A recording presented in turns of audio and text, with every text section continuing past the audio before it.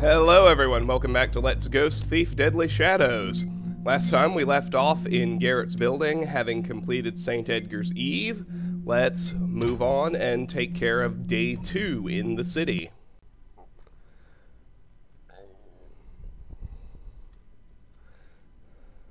The days where there are no new areas to explore are pretty straightforward. All we have to do is get all of the repeating loot and we'll be set. First, just maybe for the sake of practice, I always like to play with Garrett's practice locks. This basic one is left, right, left. The iron one we just bought is right, left, up, and down. And we may be able to get... No, it's... It clipped again. There are actually two broadhead arrows on Garrett's table when you start out. I was only able to get one in the day one playthrough. And every day you have a chance of avoiding the clipping error and having the arrow show up in a spot where you can grab it, but we weren't so fortunate today. Anyway, there's no respawning loot inside Garrett's actual apartment. The only place that we need to go now is into the landlord's room.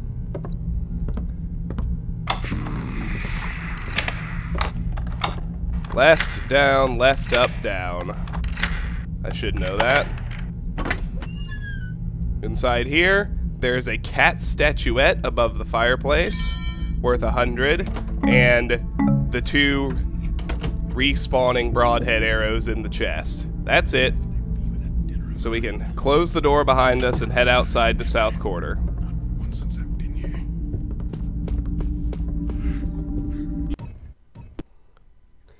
Inside South Quarter, we'll start with the two water arrows in the stone fountain, and then we'll have the first of the Benny's injury conversation series. And I'll talk about that once they're done. So grab the two water arrows, quick save, and head over towards this corner, but don't go all the way around just yet.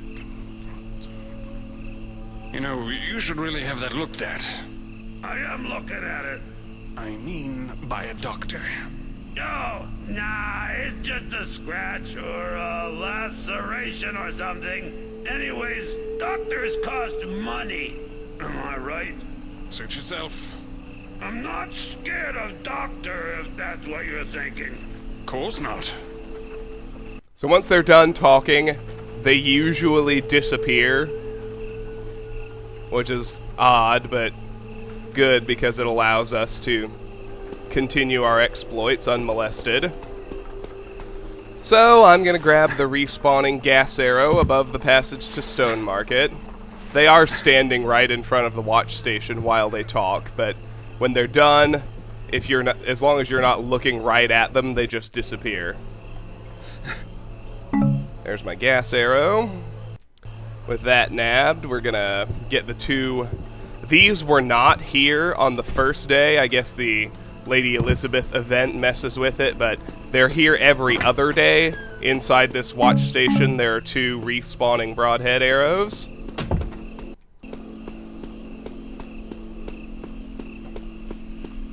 As we continue on, you'll see these every day in the city. There's one for each section. They detail your crimes committed on the previous day. So, City Watch Crime Report, District of South Quarter. The following criminal incidents occurred last evening in the vicinity of South Quarter. Zero citizens were murdered, zero citizens were rendered unconscious by a blow to the head, 21 items of valuable property were reported stolen, zero locks were unlawfully picked open. The above is a true and complete record of events. All residents are encouraged to report suspected incidents of crime to the nearest City Watch authority. Signed, the Office of the Commissioner. I think it would have been better programming instead of saying, for everything you didn't do to just get those lines to disappear, instead of saying, nobody was murdered, nobody was knocked out. Seems odd in a crime report, but that's just me. Now there's some, uh, patrolling city watchmen over here. Hello. You're a sight for sore eyes. Just be careful. I'm gonna get the two broadhead arrows here next to the well which are there every day. Now I'm to head into this house to get the fire arrow, which is here every day. This is the only day where this guard is in here. Here's a book to read. Still no jobs to be found. I might have to pawn more stuff. Somebody was in here yesterday when I was out looking for work. I bet they was up to no good. I just wish they had left behind something good to drink. Ain't nothing ever goes my way. So he's staring at the fireplace, which has the fire arrow we want, which could make things a little tough, but it's actually pretty easy to get it if you just stick to the carpet, run in, grab, and run out, like so. Bam. No trouble at all. So, back out the window the same way we came in.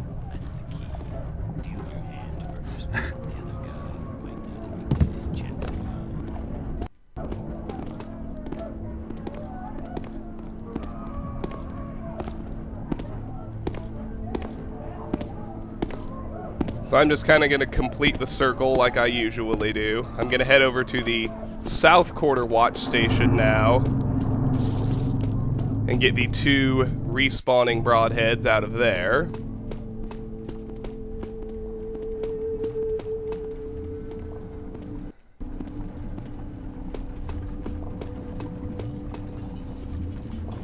Should be able to get in without too much trouble. There are two broadheads. I'm gonna watch and see where he turns next. Oh, he's patrolling. Well, that makes it even easier. And just wait for him to leave. Then I should be able to cut straight over to the merchant stall. That's just another copy of the crime report. Long day. Maybe tomorrow I'll get me some of that part-timey work down over at the factory. Hope they got some of those positions. So I'm gonna grab his three copper coins, 25 each. Now I'm gonna head into Black Alley. They give you bread down at the Henry Church. I'm gonna get the water arrow and the purse out of the sewer grate, and then I'm gonna grab the moss arrow out of the bush and listen to another conversation. The purse is worth 50, and let's grab the moss arrow and listen. Tell it, Fred. Nah. Sure, sure. I ain't heard it, and neither has Percy. Okay, okay. It was a night, just like tonight, and I was walking all alone up near the cradle. Where? The Shalebridge Cradle. Used to be an orphanage till something terrible happened. Murderers got in, or some big fire. Who's telling this story, huh? So, I was out walking, minding my own business, when I heard something. A voice, like a child weeping. And so, I started up those steps. Don't tell me you went in there. Hush! I got as far as the door and put my hand on the knob, and then Yes? Yes? the child's voice, as clear as anything. I'll never forget. She says, No, go back. You can't help me. Run for your life. What did you do? What any sensible bloke would do. I run for my life, didn't I? I'm here telling you the story, ain't I? All I gotta say is, don't ever go near that place. Never. Now, who's buying the beer? So, Hey, Garrett, how's the thieving going? just stopping in to offload my metal and gems to Heartless Perry.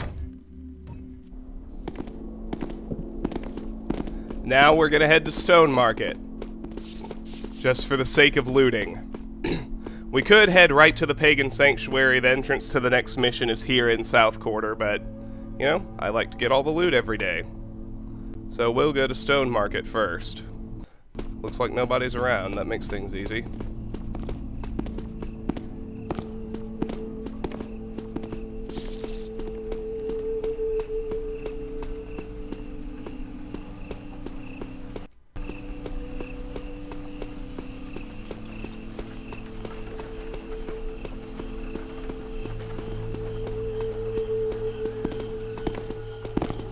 Here we go. To Stone oh Market Plaza.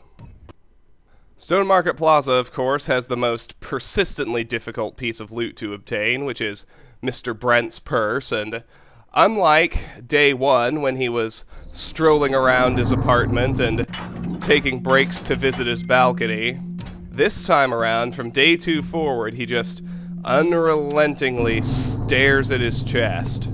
So, we'll go deal with him in just a minute. Out of the way, loser. I'm going to grab the Moss Arrow here by the exit to Stone Market proper.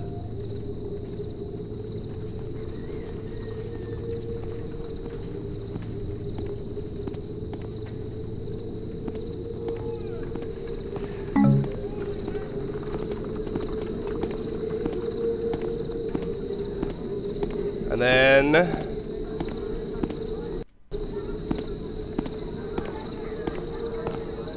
Wait till I can slip past our friendly neighborhood watchman.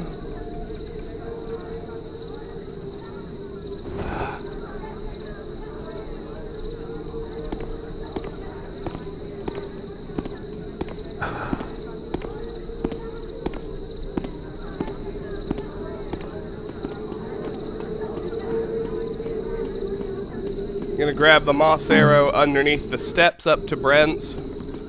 Before I go after his purse, I'm gonna go get the gas arrow from the clock tower vent, which you can reach by jumping. I'm gonna get the moss arrow over near Tursus Courtyard.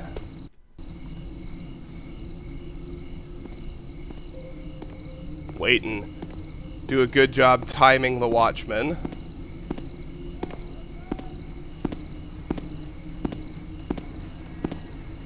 We should be able to slip out behind him.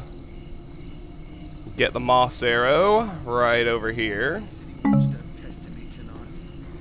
Then I'm gonna wait for him to turn back around. I just Dang it. I didn't quite realize how oddly the lighting behaved there. I was lit, even though I was, by all my visual indications, in a shadow, so I'll just wait right where I grab the arrow until he turns around.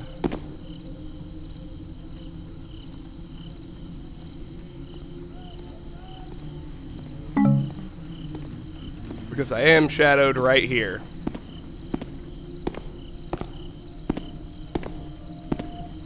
See you later, Benny.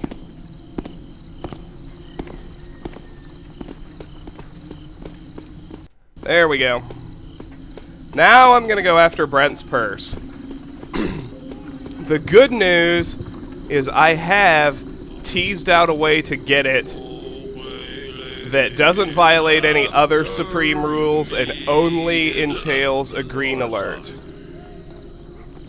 So just creep past the drunk guards stationed on the balcony here.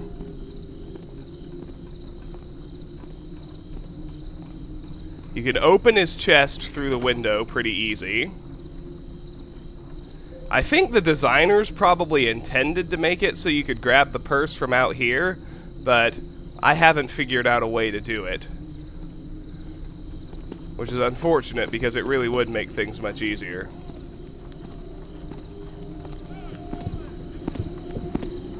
So with that open, the pub for a few.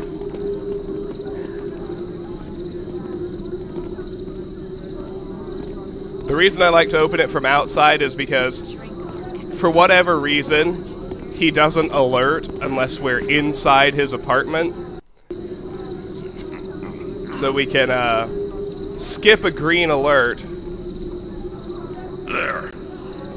I knew that was going to happen. Anyway, we could y- usually skip a green, sometimes yellow alert by opening the chest from outside before we come and tackle things. So I'll just wait here until uh, my watchman pal is walking away. Then mantle onto the crate, No one appreciates mantle up the balcony. what they do without me. Come on, G. Get up there.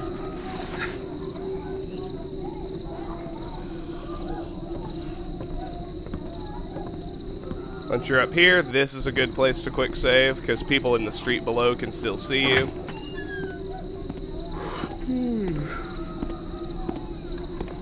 Course, we'll open the door and we'll head in. I thought I felt a draft. I just want. What's that? Hold on. We may need to close the door as soon as we walk in. Or it may turn out to be a bad idea to open the chest, although I don't know. He he remains one of the most predictable uh, unpredictable AIs in the game, which can be very frustrating. Now it must be the chest because he can't see the door from where he's standing.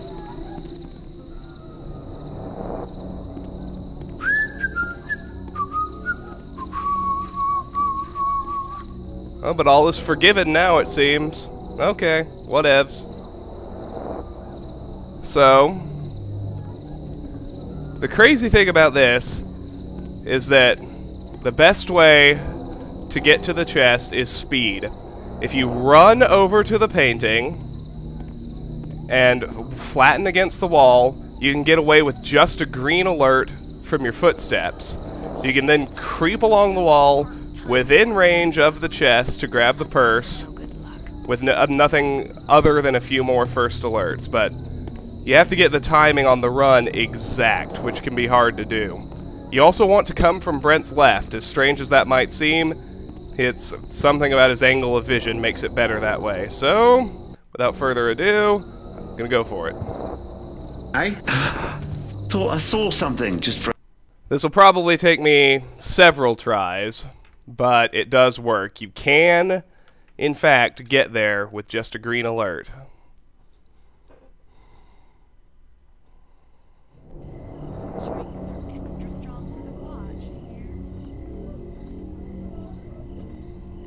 What's doing that?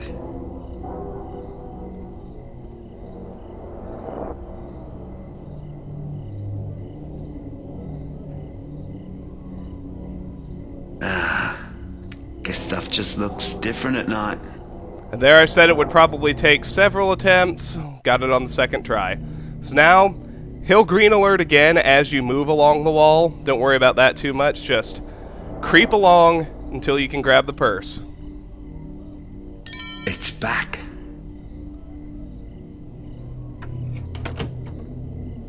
Go ahead and close the chest.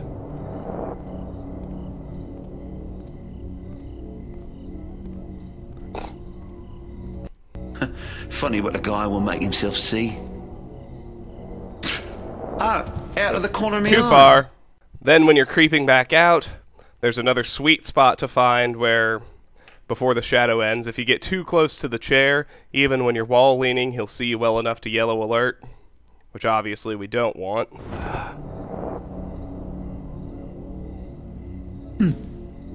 Oh well. So, Hello? Think this is about right. Ah, forget it. One more. Another sprint. This one's easier though. It's back. No. Quiet night after all. So there we go. Four green alerts. That's, by the way, as few as I have ever managed, but four green alerts, no other Supreme Rule violations, and we have that bloody purse. All that pawing night night. He finally got what he deserved. So.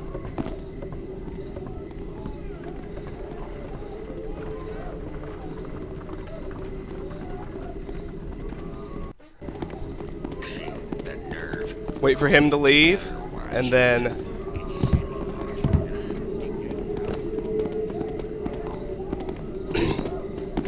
Let's head back this way. We need to clear the tavern before heading on to Stone Market proper.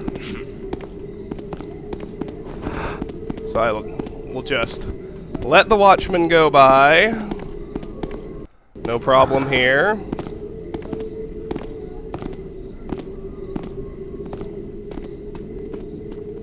And head to the tavern entrance in the alley. Up, right, left, yes.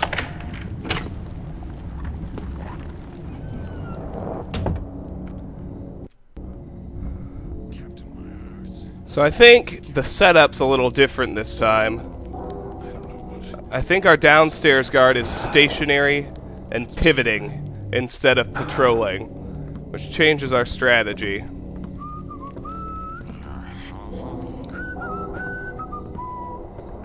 Yep, he is. It actually makes things quite a bit easier for us.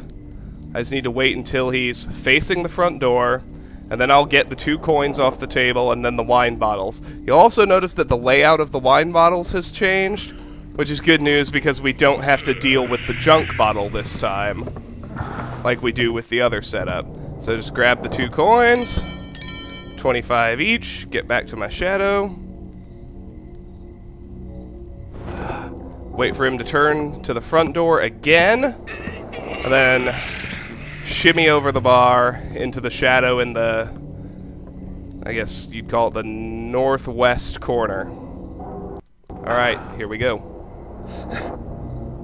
Gotta move pretty quick here, but don't want to make any noise. Wish I didn't have to go back to the pub and pour more ales. Now we should be able to creep around behind the bar without any alerts. So we get the first and second wine bottle. Get back to our corner. Then I'm kind of going to need to scout him out to see when he turns back to the front door. So, ah, not now. I see you. Okay, so as you could see, as I was saying, the top of his bow comes up over his left shoulder. So if we back up just enough to see the tip of the bow, he still shouldn't be able to see us, and we can wait until we see it swing around to the left, indicating that he's facing the door. So he's facing the diagonal right now. I'm going to wait till I see it move again. There it is. Okay. Now just creep off the edge, back into our shadow. And let's get out of the tavern. We're done. On to Stone Market proper. Which doesn't have any melees this time and will therefore be much easier to clear. Wait for the watchman to turn around and shadow him over to the load zone.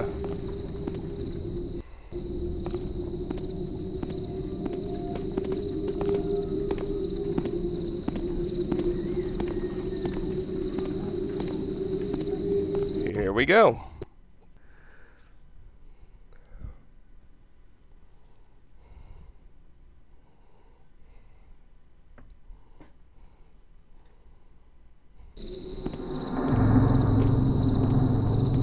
So as you can see, for whatever reason, he's got another copy of the map. So I'll pickpocket it just for fun. Inside the watch station. Oh yes, here's our Stone Market crime report. City Watch Crime Report, District of Stone Market. The following criminal incidents occurred last evening in the vicinity of Stone Market. Zero citizens were murdered, zero citizens were rendered unconscious by a blow to the head, zero items of valuable property were reported stolen, 11 locks were unlawfully picked open. Now, this is what's funny to me. Somehow, the City Watch is managing to only track my crimes because, if you remember day one, some people got murdered that day. Oh well, though. The above is a true and complete record of events. All residents are encouraged to report suspected incidents of crime to the nearest City Watch authority. Signed, the Office of the Commissioner. So, as we head into the watch station, this same drunk guy's still here and he's still drunk. We'll get the two broadheads on the shelf up above him, and then we'll grab his one silver coin. There's only one that's back every day. That will cause him to yellow alert, so we'll wait that out and then we'll move Wasn't on. there something here?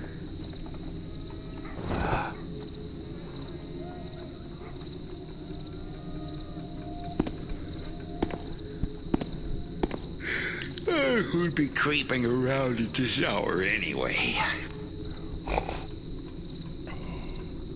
There it is, pretty straightforward. Now, I don't think the uh, Sunken Citadel map respawns, but I'll check just to be sure.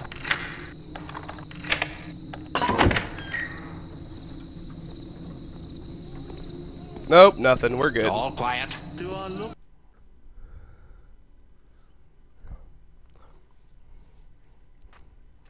So I'll leave that alone. My personal preference for moving through the stonecutter's house is actually to take the balcony exit. Or balcony entrance. So I'm gonna head up there. I just have to because regardless of which Surprise. which entrance we use, we can either use the door behind that standing watchman or the one on the balcony. But if you listen carefully, even using the balcony door So a few folks causes the watchman in the street to green alert. ballerina go in and nab the stuff, then sneak away. No one the wiser. I got muscle, so I use it. That's what I paid So, for. let's get in here. Hmm. You can get onto the crates, then onto this edging, and then up onto this balcony. Up here, obviously, you can safely pick the door open.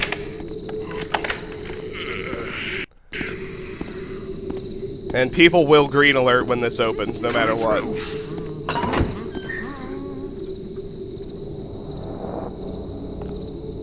Although, I note that the one in the street below me doesn't hear it, but the stationary one over there does.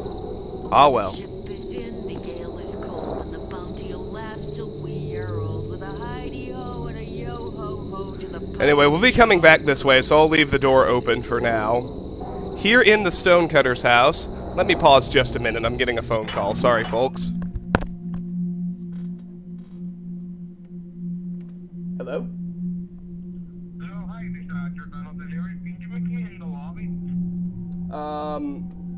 Can can they send you up?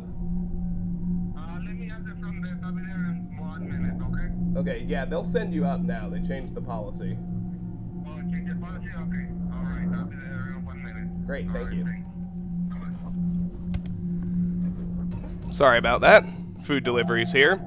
Anyway, inside the stonecutter's house, the respawning loot are the copper ring on this table.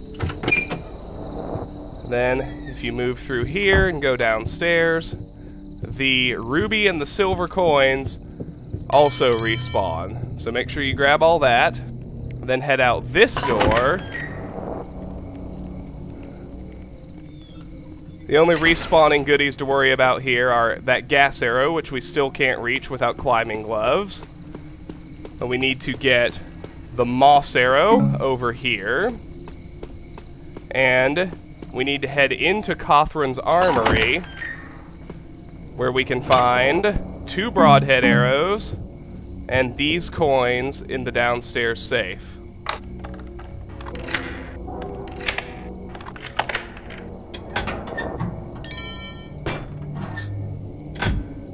That's it for the armory. And if you'll hold just a second, I'm getting another phone call. Apologies. Hello? Hello, your food delivery is here. Would you like someone to come up? Yes, please. Alright, no problem.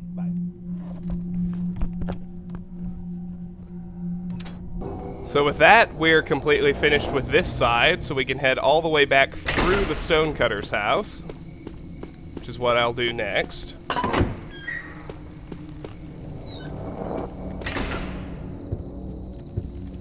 Right up to the balcony.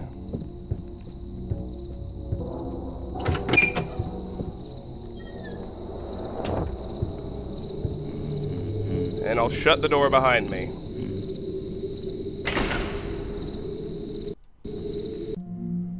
Now, if you'll excuse me one last time, and I promise this is the last time, I'll be back in just a couple seconds.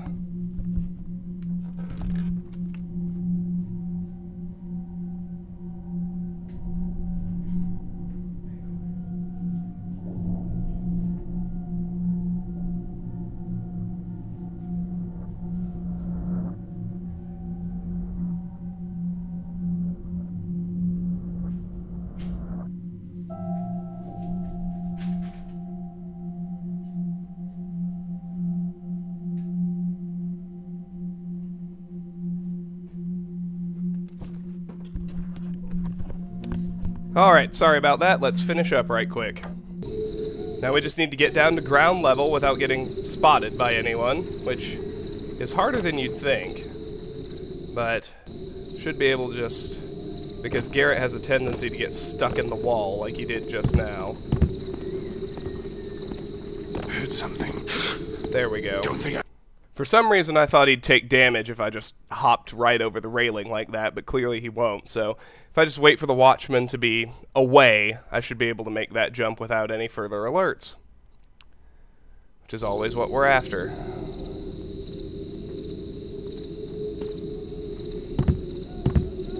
Your way gets us both killed. I guarantee it.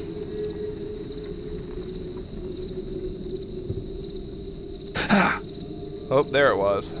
Of course we can take him.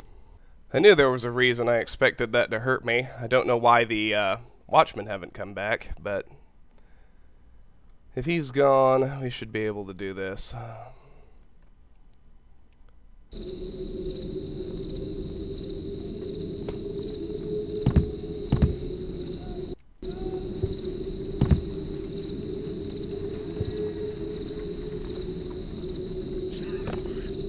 There we go. That's what I was after.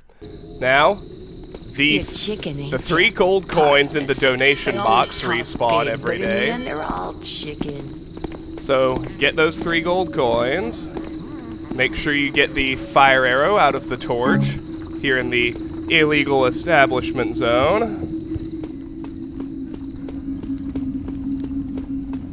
Gonna visit Bertha at the very end. Just want to make sure to grab the water arrow up above her. And then mantle over the barrel and creep down over the small one and then onto the ground, all of which lets us creep up here to these bushes to get this moss arrow. And that's it. There's nothing else to find.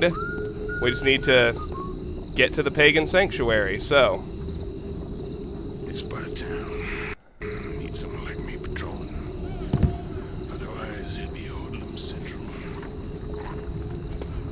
So let's head into Black Market Bertha's just to sell off what What little we've today, Garrett? picked up in mind. Stone Market. A 600 gold worth Just of metal and ignore me if I gems. And now we just need to head back to South Quarter and get to the pagan sanctuary. So I'll take you there and then we'll leave it. Oh, that can happen. So wisdom wisdom dictates listening and waiting until you hear the patroller leave.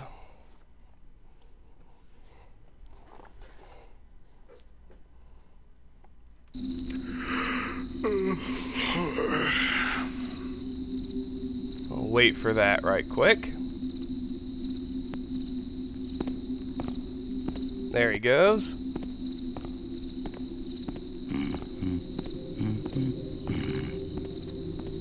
Back to Stone Market Plaza. I don't miss the day. Well, technically they are still separate videos, but I'm just editing them together. I don't miss the days when all of these little city runs turned into separate YouTube videos. I think, generally speaking, this playthrough is much higher quality. I hope all of you agree. So just head through the back alley.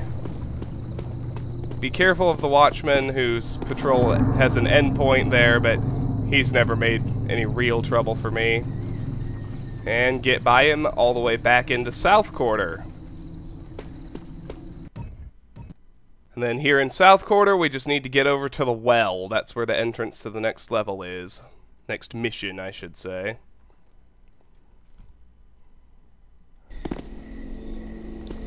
Excuse me. Oh, there's nobody around here. Onward we go.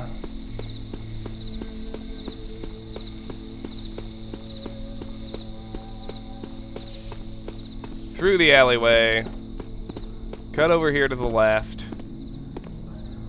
Be careful the watchman who's patrolling up and down here.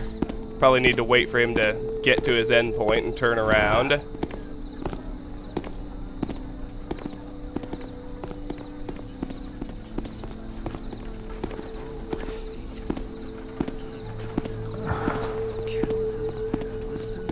Then we'll move into the well. Nobody can see us here. So this is an excellent spot to make my ending save.